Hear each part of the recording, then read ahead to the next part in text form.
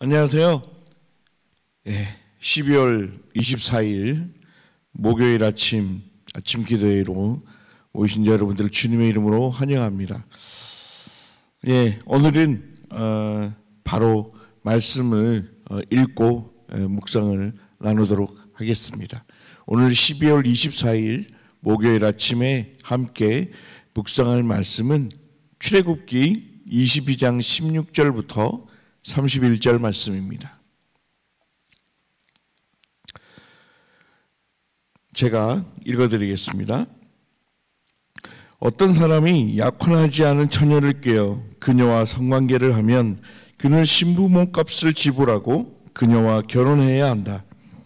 그러나 그녀의 아버지가 그 결혼을 반대해도 어쨌든 그는 신부의 몸값에 해당하는 돈을 지불해야 한다. 무당을 살려두지 말아라. 짐승과 음란한 짓을 하는 자는 반드시 죽여라. 나 여호와 외에 다른 신에게 희생 제물을 드리는 자는 반드시 죽여라. 너희는 외국인을 학대하거나 못살게 굴지 말아라. 너희도 이집트에서는 외국인이었다. 너희는 과부나 고아를 괴롭히지 말아라. 너희가 그들을 괴롭히면 그들이 나에게 부르짖을 것이다. 그러면 내가 그들의 부르짖음을 듣고 분노하여 칼로 너희를 죽일 것이니 너희 아내는 과부가 되고 너희 자녀들은 고아가 될 것이다. 너희가 내 백성 가운데 가난한 동족에게 돈을 빌려 주거든 너희는 그에게 빚쟁이처럼 굴지 말며 이자를 받지 말아라. 너희가 이웃의 옷을 저당 잡거든 해가 지기 전에 그에게 돌려주어라. 그가 몸을 가릴 것은 그의 옷뿐이다. 덮을 것이 옷밖에 없는 그가 무엇을 덮고 자겠느냐? 그가 나에게 부르짖으면 내가 들을 것이다. 나는 자비로운 자이다.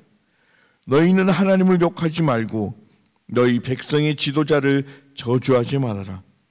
너희는 추수한 곡식과 포도주와 기름의 예물을 제때에 나에게 바쳐라. 너희는 첫 아들을 나에게 바쳐라. 그리고 너희 소나 양의 첫 태생은 7일 동안 어미와 함께 있게 하고 8일째 되는 날에 나에게 바쳐라. 너희는 나의 거룩한 백성이 되어야 한다. 그러므로 들에서 맹수에게 찢겨 죽은 짐승의 고기를 먹지 말고 그것을 개에게 던져라. 아멘. 예, 어느덧 어, 2020년 이 한 해도 정말 어, 일주일밖에 남지 않았네요. 어, 출애굽기 22장 16절에서 31절 말씀을 오늘 함께 에, 읽고 묵상을 나누려고 합니다. 오늘 뭐 그렇게 우리는 모르겠어요. 지금 상황이 코로나 상황 때문에 너무나도 힘든 분도 계시고 그리고 또 여러 가지 상황 때문에 모든 사회 그리고 모든 세계가 어, 혼란스럽기도 하고 어수선하기도 하지만 그래도 12월 어, 24일 하면 왠지 모르게 들뜬 그런 기분으로 하루를 시작하는 또 하루를 어, 계속해서 보내게 되는 그런 날인 것도 사실이기도 합니다. 그런데 오늘 본문 말씀은 그렇게 12월 24일만큼 그렇게 기쁘고 그리고 또 우리의 마음을 즐겁게 해주는 그런 본문은 아닌 것 같습니다. 하지만 이 본문 말씀을 통해서 우리가 묵상을 나누고 또 이 가운데서 하나님께서 주시는 또 귀한 뜻을 다시 한번 되새기면서 오늘 하루도 차분히 예, 보낼 수 있는 날이 되었으면 좋겠습니다. 저는 오늘 이 말씀 가운데에 21절, 22절 말씀이 저에게 와닿습니다. 너희는 외국인을 학대하거나 못살게 굴지 말아라. 너희도 이집트에서는 외국인이었다. 너희는 과부나 고아를 괴롭히지 말아라.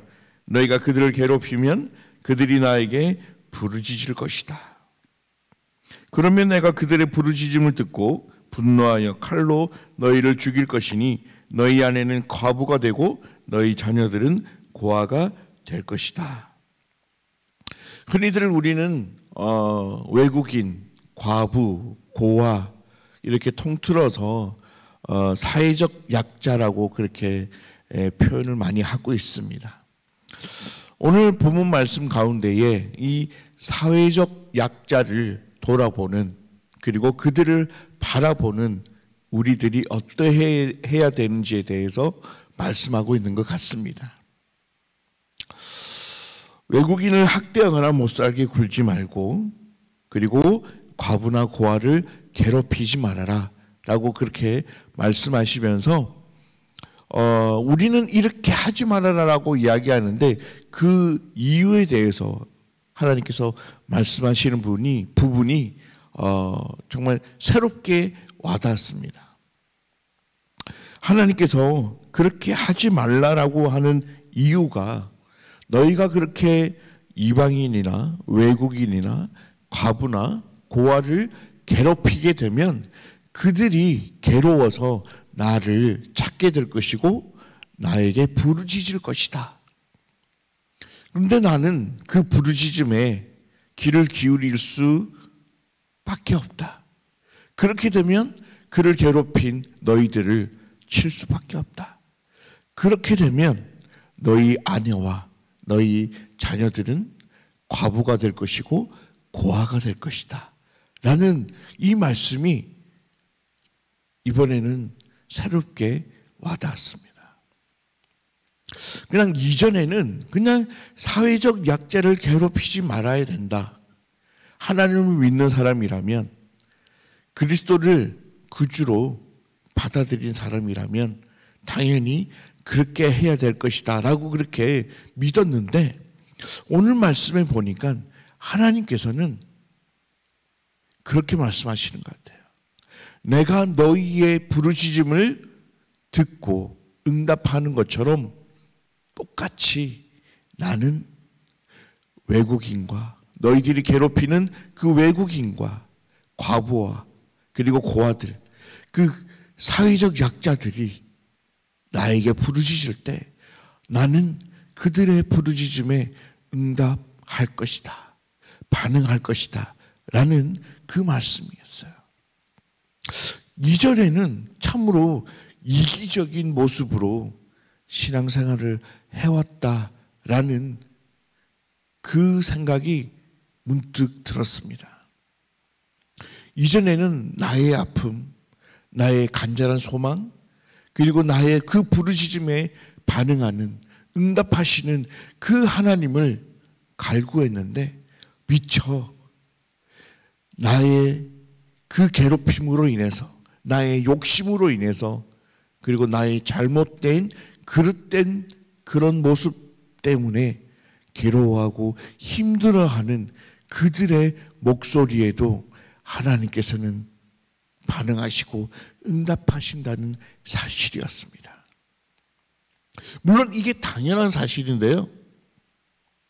여태까지 신앙생활 하면서 이 부분에 대해서 너무 쉽게 관가했던 것 같습니다. 그러면서 내가 그들을 힘들게 하고 괴롭게 하고 마음 아프게 했던 물론 직접적인 건 아니고 또 큰 아픔은 아니었 될지 모르겠지만 그래도 내가 알게 모르게 내가 했던 그 말 한마디, 내가 했던 그 행동 하나하나가 그들에게 아픔으로 그리고 큰 슬픔으로 다가갔을 것이고 또 그것 때문에 그들이 하나님께 부르짖었을 때 하나님께서는 그 부르짖음에 반응하고 응답하신다는 그 사실을 미처 그 부분까지 생각을 못했던 것 같습니다. 제가 작년 송구영신 예배 때 그런 제목으로 말씀을 전했던 기억이 있습니다.